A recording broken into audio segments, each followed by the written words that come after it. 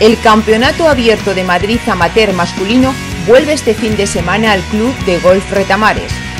Esta es una de las pruebas más importantes del calendario de la Federación de Madrid, que además es valedera para el ranking mundial amateur y en la que se ponen dos títulos en juego, el de campeón del abierto y el de campeón de Madrid.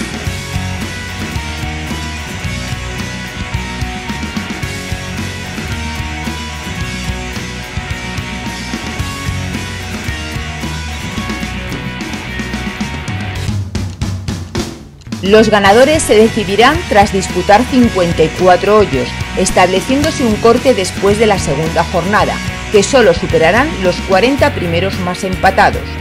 De momento, son casi un centenar de jugadores con handicap inferior a 8 los que han tomado la salida en una emocionante primera jornada, donde el madrileño Javier Gallegos se ha colocado en lo más alto de la clasificación, con una excelente tarjeta de 66 golpes, 6 por debajo del par del diseño de José María Olazábal.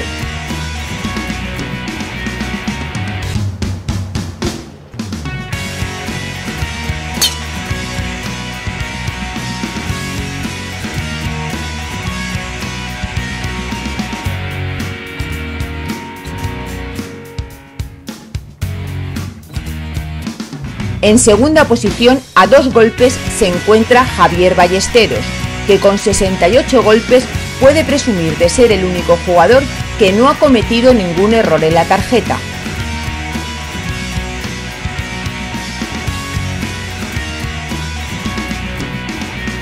Mañana se disputará la segunda jornada, decisiva para pasar el corte y disputar la ronda final.